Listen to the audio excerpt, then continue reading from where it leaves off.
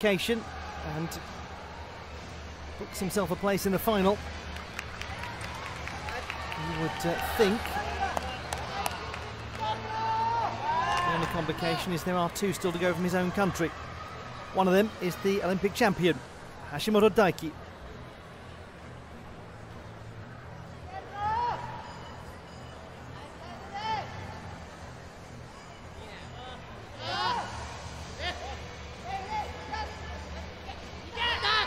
Beautiful, just brilliant.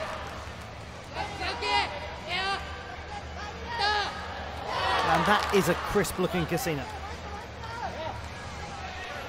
And the Kolman as well. He keeps his form well.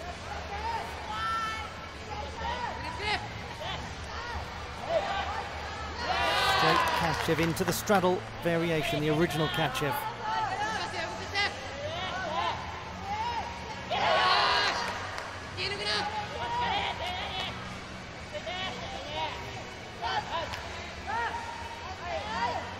This is a lovely performance from Hashimoto Daiki. Does he land it well?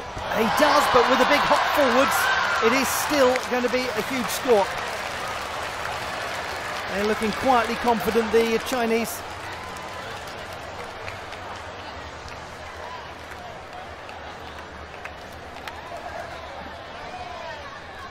Well, they're right to react like that, the Japanese, because even if they don't win this, sometimes you just have to go, well, okay, the other team was better.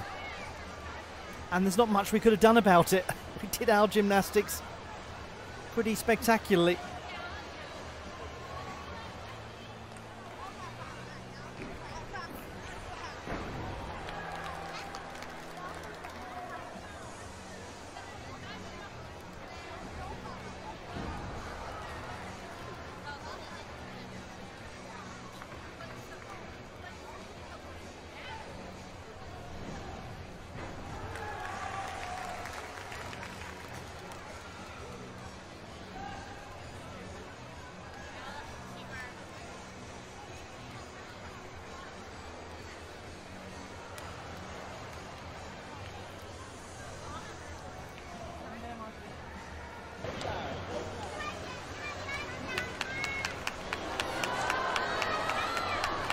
Hashimoto Daiki 15.266.